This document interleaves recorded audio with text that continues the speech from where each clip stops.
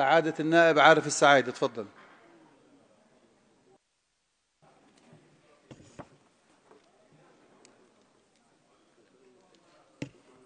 بسم الله الرحمن الرحيم. الحمد لله رب العالمين والصلاة والسلام على سيدنا محمد النبي العربي الهاشمي الأمين وعلى آله وصحبه أجمعين. سعادة الرئيس الزميلات والزملاء السلام عليكم ورحمة الله وبركاته. لم يأتي على الأردن ظرف أكثر دقة من الذي نعيش. بفعل ظروف اقتصادية ودولية بالغة الخطورة وأوضاع اقتصادية ضاغطة ما يتطلب منا جميعا. كل في موقعه العمل على سد الثغرات وتوحيد الصفوف لتحصين الجبهة الداخلية والالتفات حول والالتفاف حول قائد الوطن جلالة الملك عبد الله الثاني بن الحسين حفظه الله ورعاه قائد سفينة الوطن نحو بر الأمان وحاميها بحكمته وخبرته من تلاطم أمواج الصراعات والفتن المحيطة. ليبقى الأردن دائما حرا عزيزا آمنا. وهنا أدعو الحكومة إلى تبني خطاب دولة متماسك ومقنع يصارح الأردنيين بكل حقائق أوضاعهم حتى يتحمل الجميع مسؤولياته في في إبقاء الأردن قويا منيعا باعتباره مصلحة أردنية مثلما هي مصلحة قومية. فالأردن القوي هو الأقدر على مسانده قضايا الأمة وفي مقدمتها القضية الفلسطينية وانتهز هذه المناسبة لأرفع إلى مقام سيدي حضرة صاحب الجلالة الهاشمية رسالة تأييد ممزوجة بخالص وأصدق معاني الولاء والانتماء لمواقفها التاريخية المشرفة تجاه القضية الفلسطينية قضية الأردن المركزية ووقوفه الدائم إلى جانب الأشقاء الفلسطينيين وكشف حجم المأساة التي يمرون فيها بها وتأكيد جلالته في كل المحافل الدولية والإقليمية وبشجاعته المعروفة وصلابته التي لا تلين على ضرورة إيقاف جرائم الحرب والجرائم ضد الإنسانية في قطاع غزة مع استمرار تقديم المساعدات والمساعدات الإنسانية والإغاثية والطبية برا وجوا للأهل في غزة وفلسطين مما يؤكد أن الأولوية الأردنية ما زالت وستبقى الدفاع عن الحق الفلسطيني وإيجاد حل عادل وشامل ينهي الاحتلال ويكفل قيام الدولة الفلسطينية المستقلة على التراب الوطني الفلسطيني وعاصمتها القدس الشريف.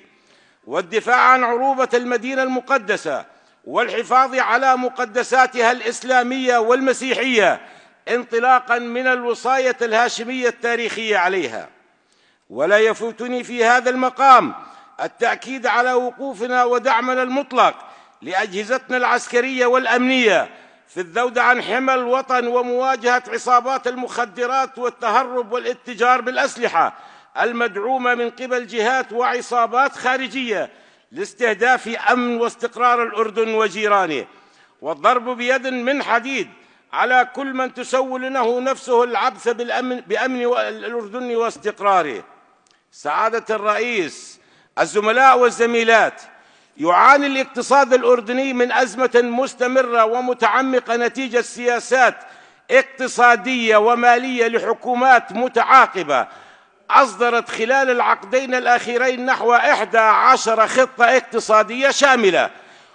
وقد دفع الوطن والمجتمع والمواطن ثمنا غاليا لعدم تطبيقها بسبب عدم وضعف الالتزام والتزام الحكومات المتعاقبة وغياب فعالية الإداء المؤسسي وعدم جدية الحكومات بالإضافة إلى تحديات طارئة مثل اللجوء السوري والحرب على الإرهاب وانقطاع الغاز المصري وجائحة كورونا والحرب الروسية الأوكرانية والعدوان الإسرائيلي على قطاع غزة ولتجاوز تأثير تغييرات الحكومات على تنفيذ الخطط ولإطلاق الإمكانيات لبناء مستقبل أفضل جاء إطلاق رؤية التحديث الاقتصادي كخطة عابرة للحكومات برعاية جلالة الملك عبد الله الثاني وبمتابعة مباشرة من لدنه ولي وولي عهده الأمين وفي سياق تحديث وطني شامل إلى جانب تحديث المنظومة السياسية والمنظومة الإدارية لضمان تسريع النمو الاقتصادي وتحسين نوعية الحياة للمواطنين وفق برامج تنفيذية واضحة ومعلنة بسقوف زمنية محددة. ونؤكد هنا على أهمية مراجعة الحكومة وبشكل منتظم الخطط التنفيذية لرؤية التحديث الاقتصادي لإدخال التعديلات عليها آخذة بعين الاعتبار التطورات الجديدة والاتجاهات الاقتصادية الحديثة والتقنيات الناشئة في كافة محاور وعناصر الرؤية خاصة في ظل ظروف عدم اليقين التي يعيشها الاقتصاد العالمي والإسراع في تنفيذ برامج تحديث القطاع العام كضرورة لنجاح مسار التحديث الاقتصادي. سعادة الرئيس الزميلات والزملاء ساهمت الإصلاحات الضريبية في نمو الإيرادات العامة وخفض التهرب الضريبي. وزيادة عدد المسجلين في دائرة ضريبة الدخل والمبيعات عبر مجموعة من التعديلات التشريعية والتنظيمية والإجرائية.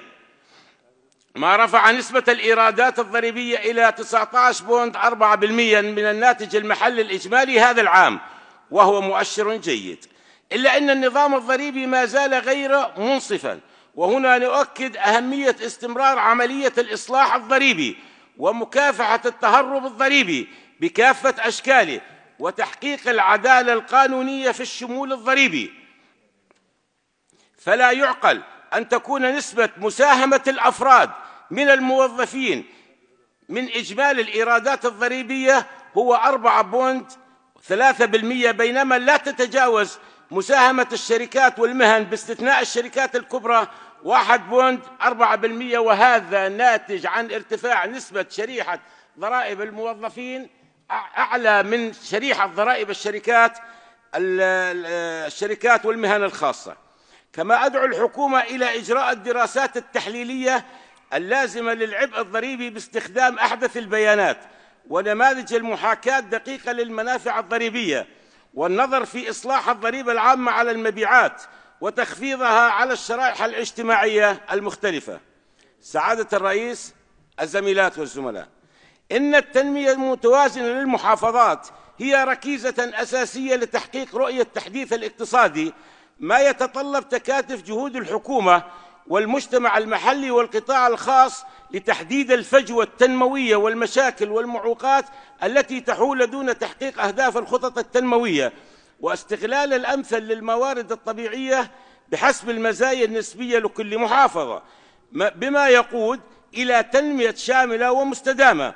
وتمكين المحافظات من إدارة واستثمار مواردها وتنمية وتدريب الموارد البشرية في مختلف القطاعات وهو ما يستدعي توجيه المستثمرين والشركات لتشجيع الاستثمار في الزراعة والصناعة والسياحة الثقافية والبيئية وفق خصوصية كل محافظة. ومنح, ومنح المستثمرين المحليين وأبناء المحافظات فرص إنشاء الجمعيات التعاونية ومنحها تسهيلات ضريبية وتفويض أراضي قابلة للزراعة لإقامة مشاريع زراعية لغايات التصدير ودعم هذه المشاريع بالمعدات اللازمة.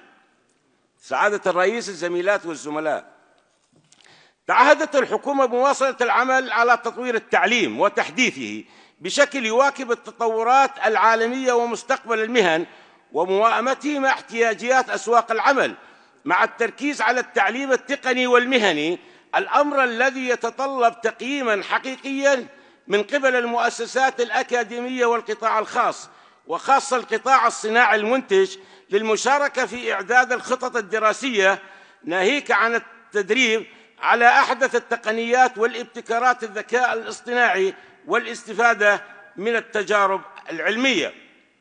سعادة الرئيس الزميلات والزملاء. إن تطوير الجهاز القضائي وتعزيز سيادة القانون وتوفير بيئة مؤسسية عصرية للجهاز القضائي وأجهزتها المساندة وتحديث الإجراءات والتشريعات للارتقاء بعملية التقاضي وإنفاذ الأحكام هي الأداة الرئيسية لتعزيز العدالة وحماية الحريات العامة وحقوق الإنسان. ونطلب هنا بمزيد من الضمانات. شكرا سعادة الزميل.